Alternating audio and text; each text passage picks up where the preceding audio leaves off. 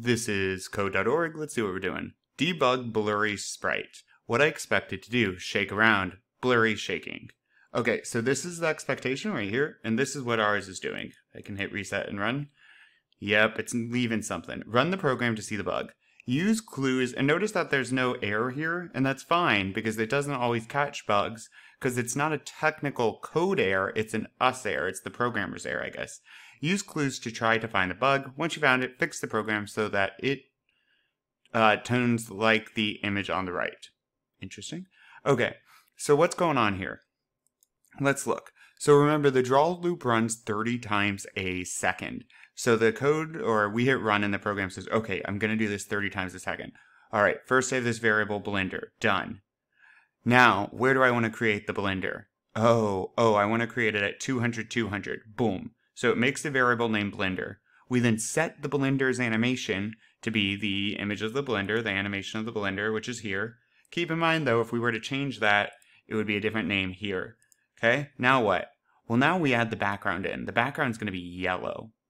Huh, okay, well the background's yellow. Then what do we do? Well, then we randomize the X position of the blender, right? It's, the blender's location is going to be 200 plus negative 5 to 5. So that just takes the default, which was really originally 200, and says it's going to be 195 because 200 minus 5 to 205. Anything in between that is Blender's X, and that's what we're also going to do with Y. Then we draw the sprite.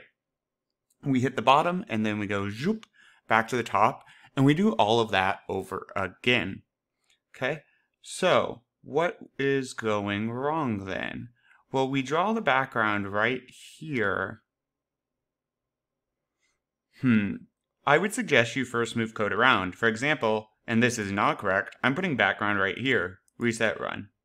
Now, why can't we see anything? Well, because the last thing you draw now is the background. And so this runs so fast that it does draw the sprite, but it instantly covers it up. So we don't get to see what's actually going on. What if we moved it up here?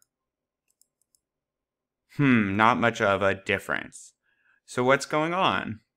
Well, this variable blender is getting made 30 times a second.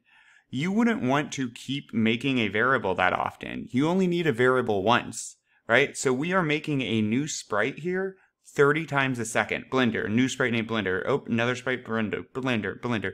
30 times a second, you are making a new sprite animation. Well, a new sprite, and then you're setting the animation. There's no reason to do this inside of a draw loop.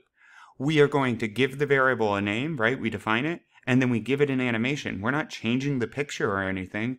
This isn't a property that we want up here. So this is the variable, we want the animation. It's not what we're going to be changing 30 times a second. So we should have variable and the set animation at the top of our code.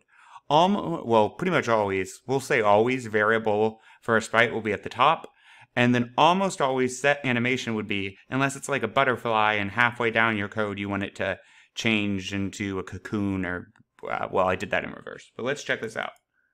Boom. So now we don't create 30 blenders 30 times a second over and over and over again. We just do it once and we just move that single blender all over the place.